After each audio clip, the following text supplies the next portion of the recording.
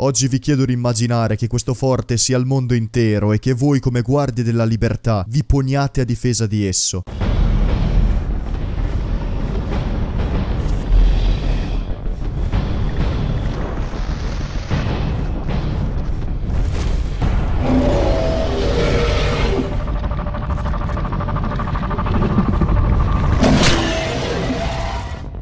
Ciao a tutti ragazzi, ben ritrovati nel canale di Illustrace e bentornati su Rom 2 Total War. Imperial Edition. Siamo pronti dunque a proseguire la nostra campagna assieme agli Spartani ora che abbiamo conquistato il Vesontium, ora che la nostra influenza si espande a tutta la Germania Minor. Dobbiamo fare in modo di pressare questo nostro avversario i nervi, eliminandoli dalla faccia della terra e garantendoci in questo modo, come ben sapete, un nord barbaro sotto il nostro controllo che ci permetterà di dedicarci poi alla grande guerra dei Balcani. Per attuare questo piano di espansione rapidissimo dobbiamo però dedicare dedicarci alla ricostruzione del Vesontium. Così facendo, infatti, potremo emanare poi degli editti che ci permetteranno di avanzare coi nostri eserciti e di non arrestare così la nostra macchina da guerra spartana davanti a nulla. Dunque non perdiamoci in chiacchiere e andiamo subito a ricostruire questa grande città dei nervi strappata facilmente lo scorso gameplay. La prima struttura che andremo a creare sarà un tempio di Zeus. L'abbiamo visto poco spesso e la sua caratteristica è proprio il fatto di dare più 6 all'influenza culturale ellenica, che come ben potete notare da questa percentuale non è molto alta in questi territori che sono sempre stati di possesso delle barbari genti. Mettiamo dunque ad accodare questo bellissimo tempio. Una cosa su cui c'è poco da pensare invece è il fatto che questa città debba essere una polis. Così facendo tutte le mura diventeranno di marmo e smetteranno di essere un semplice terrapieno. Conservare un'impronta produttiva anche per questa grande città mi sembra una cosa importantissima e dunque il produttore di anfore fa il caso nostro. Le anfore sono ovunque e vengono usate per conservare di tutto. 100 la ricchezza derivata dall'attività manifatturiera, più 5% la ricchezza derivata dalle attività agricole e 10% la ricchezza derivata da tutto il commercio. Dato che nella vicina Bibracte è già presente una caserma degli Opliti, a nulla serve un campo dei mercenari che ci darebbe meno 10 in pane, ma possiamo per sicurezza creare un campo degli schermagliatori che permetterà di aumentare il livello di esperienza di alcune unità e sbloccherà l'arruolamento degli schermagliatori a cavallo, velocissimi ed efficaci come ben sapete. Mentre invece per quanto riguarda quest'altra struttura struttura militare,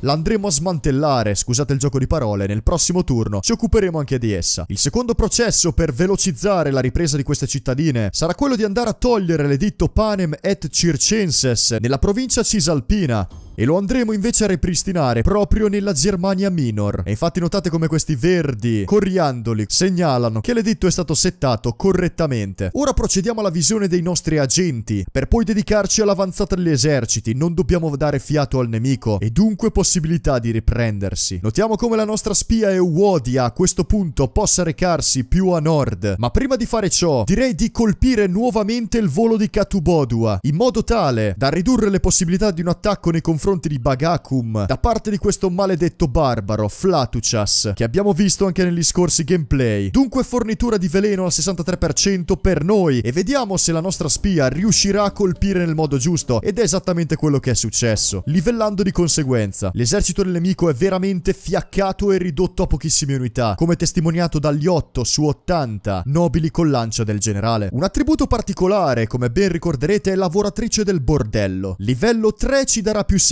la probabilità di successo di un raggiro, più 15% la probabilità di esito positivo per questa azione e una cosa particolare, più 3 all'ordine pubblico e vi lascio immaginare il motivo. A questo punto è il turno di Edona e allo stesso modo attaccheremo alle spalle i maledetti Corrigan spudorati. Spartani miei sapete bene che tutte queste azioni sono molto utili perché dobbiamo fare in modo di avere sul campo di battaglia, per quanto Edona non riesca nel suo tentativo, stavo dicendo ad avere meno nemici contro di noi. Ora che siamo a Gerasimo notiamo come sorvolando la manica gli Ceni abbiano respinto i briganti e questo ci fa piacere in quanto essi sono molto più bellicosi degli Ceni stessi. È giunto il momento di passare ai nostri grandi eserciti, trovandoci in questo momento a Distros. Il generale Ciro per adesso deve sostare ma andrà a reclutare ulteriori unità, che saranno due opliti perieci. In diversi mi avete consigliato di ricreare alcune strutture militari e sono d'accordo con voi, ma ricordiamoci anche che abbiamo dovuto ripristinare il pane e soprattutto le entrate per il nostro impero. Ed è grazie a queste manovre scopre che adesso possiamo espanderci nuovamente. A questo proposito dovremo cercare poi di attuare un potenziamento proprio delle città al confine dal punto di vista militare, così che siano utili per la nostra grande marcia contro gli RDA in futuro, ma non pensiamo troppo avanti. Una volta reclutato con Ciro, proseguiremo nella nostra visione degli eserciti, pronti alla guerra e all'avanzata inesorabile. Ora ci troviamo nuovamente nei pressi di Bagakum e notiamo come l'eroe assegnato a quello che fu l'esercito di Poliperconte possa livellare. Daremo eroi di guerra livello 3, che come notate dà molti bonus positivi, tra cui ricchezza 30% dall'avventurarsi. Invece il tranquillo Mnasone ai confini con Casurgis volge il suo sguardo e notiamo che gli insubri, pur avendo un solo territorio, riescono a mantenere ben 4 eserciti. Ma notiamo anche che la città sia al 55% di influenza greca e questo dipende dai nostri confini. La cosa che però più ci interessa è l'avanzata di gelo, che per adesso dovrà stoppare possibili attacchi degli eserciti di Lupfurdum, come avrete sicuramente capito. E dunque anche per questo 108 a.C. tutto quello che potevamo fare l'abbiamo fatto. La provincia belgica è quella ad avere il deficit più alto di ordine pubblico, ma ricordiamoci che sta crescendo di 9 punti a turno. E a questo proposito faremo di questa città il simbolo della nostra potenza sugli stati assoggettati, creando un mercante di schiavi. Esso ci permetterà di avere 50 dal commercio locale e più 25% della ricchezza generata dagli schiavi, riducendo le problematiche legate ad essi in tutto l'impero. Inoltre creeremo sempre per il costo di 1000 talenti d'oro un serbatoio d'acqua che porterà l'ordine pubblico a salire così come la ricchezza derivata dall'agricoltura. Ed ecco come in pochissimi turni anche questa grande cittadina sarà fiore all'occhiello del nostro impero spartano. Adesso che i soldi sono finiti, effettivamente null'altro possiamo se non passare il turno assieme e pregare Ares che guidi le nostre lance nei punti giusti. Dunque, uomini miei, prepariamoci al 107 a.C. Ed ecco che i nervi attaccano il nostro generale Gelo al confine con eh, Lup Furdum. Il loro numero è di oltre 3300 unità, mentre il nostro si limita a 1300. Siamo all'interno di un forte e come potete notare l'avversario non possiede macchine d'assedio, se non fosse per questo onagro celtico, che se eliminato dalla nostra prode cavalleria una sola unità, potrebbe permetterci di ribaltare la situazione con una delle battaglie più epiche mai viste. Se dovessimo perdere, il nemico comunque non invaderà gli insubri e cercheremo una ritirata strategica per prepararci al meglio. Io però oggi vi chiedo, uomini, di scendere in campo con me per urlare al cielo che siamo ancora spartani e non a caso chiamati figli e discendenti di Eracle. Cerchiamo di portarci a casa questa grande vittoria impensabile. Se non altro cerchiamo di fiaccare il più grande asserragliamento di nemici cappeggiati da questi tre generali barbari. In questo forte affrontiamo le orde di barbari che a centinaia cercheranno di prevaricare sulle nostre picche,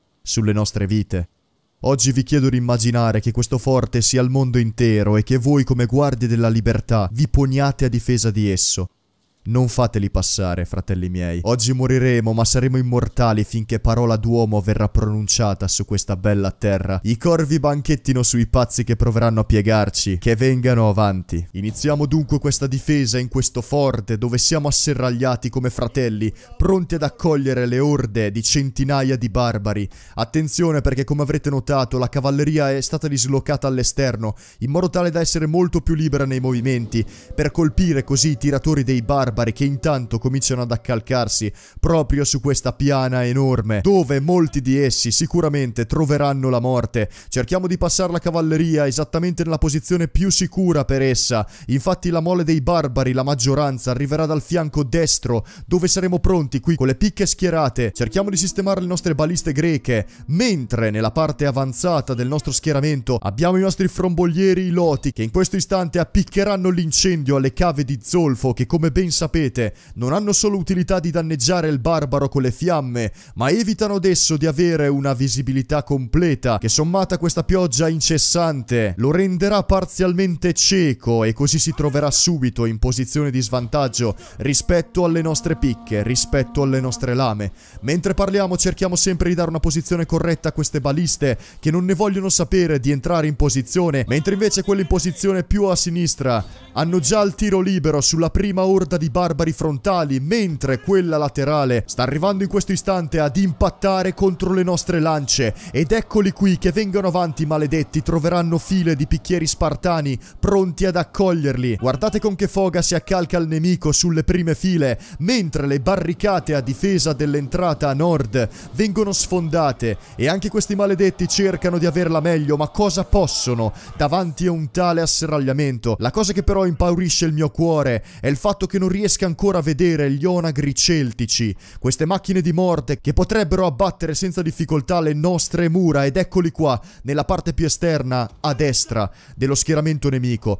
Un'altra cosa che crea terrore nel mio cuore, ma deve tenere saldo il vostro, è il fatto che il nemico abbia veramente centinaia e centinaia di uomini, di valenti barbari che hanno un conto in sospeso con i nostri spartani. Vogliono infatti toglierci la vita, ma non hanno capito che saremo noi ad averla meglio, mentre un fuoco incessante del barbaro stesso piove come una pioggia aggiuntiva furente sopra i nostri scudi. Cerchiamo di dislocare il nostro grande generale Gelo nel fronte destro del nostro schieramento, mentre il barbaro cerca di attaccarci aiutarci da tutte le parti. Questa è la carica che io vi chiedo, una carica sotto la pioggia, mentre i corvi incominciano ad accalcarsi, sanno che stasera ci sarà da mangiare carne umana. Noi ora attaccheremo assieme tutti i tiratori che si trovano davanti a noi e che stanno facendo man bassa della nostra fanteria che cerca nel frattempo di eliminare gli avversari. Cavalieri siate sicuri della vostra carica e non permettete fuga a questo nemico infame. Sistemiamo nel frattempo i nostri fromboglieri allo stesso modo modo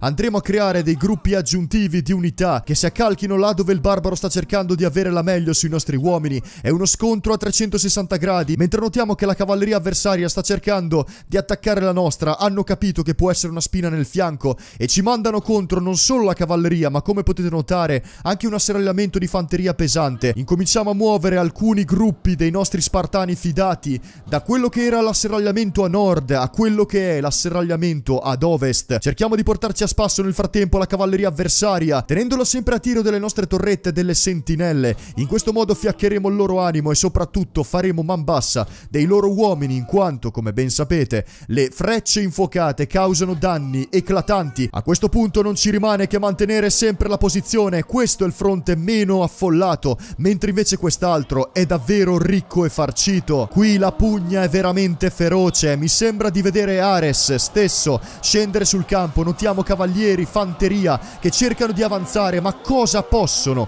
contro un muro di Spartani, il vostro muro, che non permette loro di avanzare di un solo centimetro. Nel frattempo cerchiamo di fare fuoco con le nostre baliste sui loro onagri celtici, così che capiscano che l'accoglienza dei greci non si limita semplicemente a quattro picche, ma abbiamo anche noi le nostre macchine di morte. Nel frattempo la cavalleria nemica ci raggiunge, allora lo scontro, l'arma bianca è assolutamente necessaria avversario, cavalleria leggera gallica mercenaria, conosceranno anch'essi le lame di Sparta. A questo punto sembra che la situazione si stia risolvendo per quanto riguarda il fronte a sinistra del nostro forte, mentre continuiamo a far avanzare le nostre unità. Non credo che questi siano tutti i barbari presenti sul campo, mentre cerchiamo una carica assoluta sui tiratori e allo stesso tempo affrontiamo la cavalleria avversaria che ormai è ridotta a un pugno di mosche. Ricordatevi cavalieri miei che per quanto possiamo caricare i tiratori, se essi sono tanti, con una sola incoccata di una freccia o di un dardo, potrebbero abbatterci, ma quello che conta è essere feroci e violenti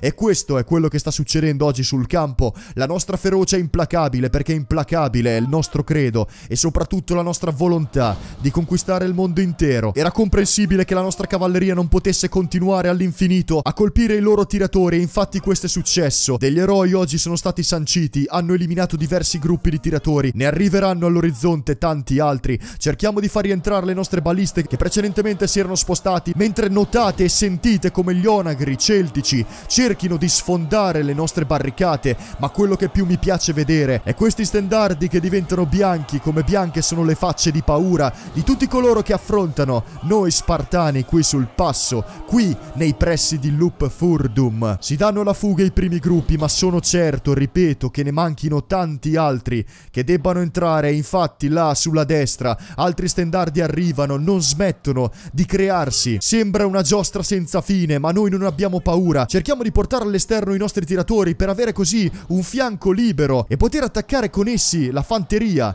da più lati, frontalmente con la nostra e lateralmente proprio con questi tiratori. Nel frattempo notate come le torrette facciano strage del nemico e la fratellanza di lancieri si scaglia adesso contro il nostro muro di opliti e il nostro muro di picchieri spartani. I nostri tiratori stanno in questo istante arrivando. Attenzione però abbiamo fatto un errore gravissimo che costerà probabilmente la vita a tutti questi nostri tiratori. Infatti sorge da questo mare dei nervi, da questo mare di tiratori, una cavalleria che spazza via, scusate il gioco di parole, completamente i nostri poveri frombolieri loti. Un errore che forse ci costerà caro, ma chi non ne commette, soprattutto in una battaglia come questa, non potevamo certamente pensare di vincere con poche perdite. Facciamo avanzare anche i nostri peltasti perieci riconoscibili facilmente dalla loro lambda bianca su fondo nero. E allo stesso modo senza lasciare completamente sguarnito il fronte a nord cerchiamo di spostare altre fanteria mentre notate che viene giù una parte del forte. E allora dovremo andare subito a tamponare questa possibile entrata. Saremo dei mattoni impenetrabili per il nemico anche se adesso le cose non si mettono per nulla bene. E notate come il nostro generale Gelo stia cercando il tutto per tutto mettendosi in prima fila e cercando di mantenere saldi i cuori di tutti voi spartani. Una carica della cavalleria direttamente sui nostri uomini che va ad essere macellata in quanto tra i vari scudi spuntano ancora le picche di diversi gruppi di picchieri. La cosa che adesso più terrorizza il mio cuore è il fatto che si stanno creando dei gruppi senza fine di tiratori e come ben sapete hanno un vantaggio assoluto sui nostri picchieri che non hanno praticamente alcun tipo di difesa una volta che sono schierati. Cerchiamo dunque di far avanzare i nostri opliti, perieci e spartani che creino così una difesa aggiuntiva con i loro larghi scudi. Uomini, io vi chiedo di non lasciare la posizione. Noi qui oggi dobbiamo ribadire che gli spartani non si fermano mai davanti a nulla, mentre con le nostre ultime baliste cerchiamo di usare i colpi rimanenti nel migliore dei modi, cercando così di atterrare il nemico, i tiratori stessi, mentre l'onagro tira giù un'altra parte del nostro forte. Notate ormai come quel maledetto onagro dalla potenza disumana sta riducendo il nostro forte a legna che presto sarà putrida sotto questa pioggia copiosa. Tutti saranno disposti a questo punto sul lato ovest, mentre cerchiamo un aggiramento anche per quanto riguarda la zona posteriore, dobbiamo mettere fuori uso quell'onagro. Se infatti un colpo dovesse arrivare direttamente nel centro del nostro schieramento, io credo che nulla potremo, per quanto già eroici siamo stati fino a questo punto. I dardi sono incessanti e notiamo come il nostro generale sia stato ferito e il suo cuore veramente indomito stia tremando. Lo facciamo arretrare per trovare conforto. Sono rimasti veramente pochissime unità di spartani reali che lo sorreggono e lo scortano dietro. Il generale inverno ha dato tutto, adesso però dobbiamo cercare di attaccare il nemico, cercare di pusharlo, perché infatti non possiamo permetterci che essi continuino a tirarci addosso tutto quello che hanno. Vi sconsiglio fortemente di applicare una strategia di questo genere, perché è esattamente l'ultima strategia che vi rimane, così come a noi rimane solo questa, per vincere questa importante battaglia. Ricordiamoci, saranno morti centinaia di barbari, ma noi adesso con le picche spianate cerchiamo di portarli all'inferno una volta per tutte,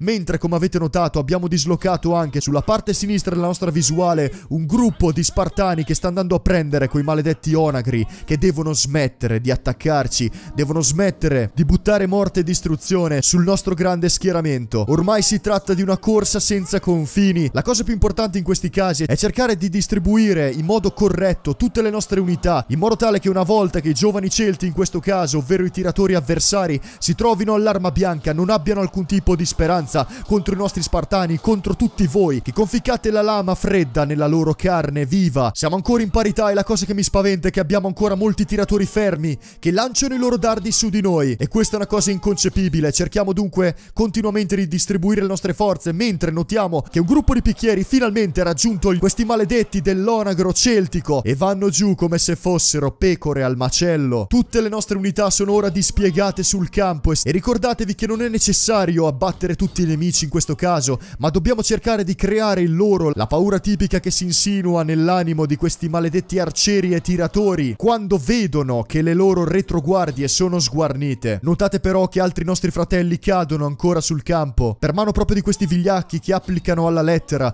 una schermaglia infinita, dunque scappano alla nostra vista. Cerchiamo di spaventarli, leoni miei, che siano gazzelle in questa savana sterminate e soprattutto ribadiamo in questo istante che i nervi nervi non saranno che una cosa di passaggio per il nostro popolo. Non sono quelli che vogliamo. Noi vogliamo però il loro potere. Noi vogliamo però i loro territori. E mentre stiamo dicendo questo, notiamo come l'indicatore di forza si stia muovendo velocemente verso il nostro vantaggio. E dunque, uomini miei, io qui sancisco assieme a voi una vittoria che credo sia una delle più epiche che abbiamo vissuto assieme. I nostri pronostici si sono verificati e avverati in pieno. Abbiamo vinto a caro prezzo, ma potete notare quanti siano periti sulle nostre picche. 1085 uomini per questo gruppo di eroici picchieri. Una battaglia che verrà ricordata nei secoli e che ci darà libero accesso a tutti i territori dei nervi. Uomini, non posso dirvi altro se non siete degli eroi. Abbiamo perso tre unità del nostro prode esercito di gelo, ma il suo grande scudo non permette all'avversario di avanzare, che invece retrocede perdendo quasi tutte le sue armate. Uccideremo i prigionieri in quanto la struttura per vendere gli